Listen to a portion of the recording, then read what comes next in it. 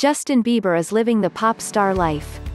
The 26-year-old singer stars in the music video for DJ Khaled and Drake's track, Pop Star, which was released overnight on Thursday. At the start of the video, Drake, annoyed with Khaled's constant calls, grapples with how to star in a music video when he's unable to travel due to COVID-19. Eventually, the 33-year-old rapper decides to call in a favor and get his pal, Justin, to take his place.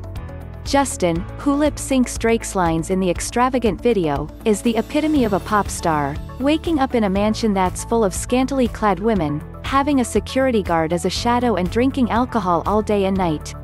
The video continues with a brief appearance from Justin's manager, Scooter Braun, a nod to the track's line, you would probably think my manager was Scooter Braun, and the sorry singer being a good sport and lip syncing his ex, Selena Gomez's, name when he reaches the line, I, look, Ariana, Selena my visa.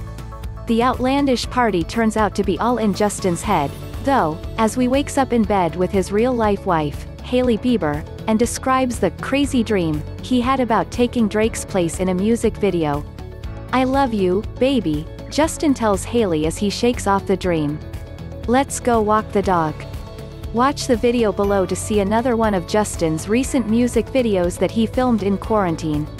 Related content, Dwayne Johnson predicts when Justin Bieber will be a dad Justin and Hailey Bieber talk their summer of love in quarantine Justin Bieber shares pics from baptism with wife Hailey related gallery.